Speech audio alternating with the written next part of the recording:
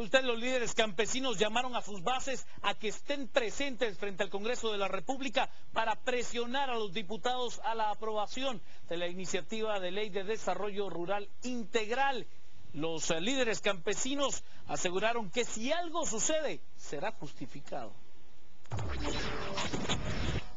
Las organizaciones campesinas como el CUC y la Alianza para el Desarrollo Rural Integral llamaron a sus bases a estar presentes frente al Congreso para pedir la aprobación de la Ley 4084 de Desarrollo Rural Integral. Según los indígenas, ya no hay más tiempo.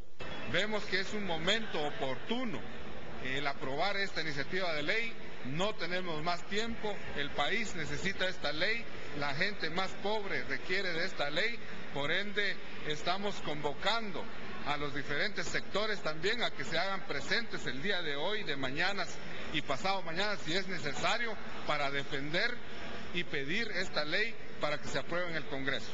Los líderes campesinos aseguran que todo lo que hagan los manifestantes, sea lo que sea, tendrá una razón de ser. Todo acto que las comunidades y las organizaciones lleven a cabo será justificado dado el retraso y el retardo que está eh, ocurriendo aquí en el Congreso. Un llamado a los congresistas para que cumplan con su papel, su responsabilidad y legislen a favor del pueblo.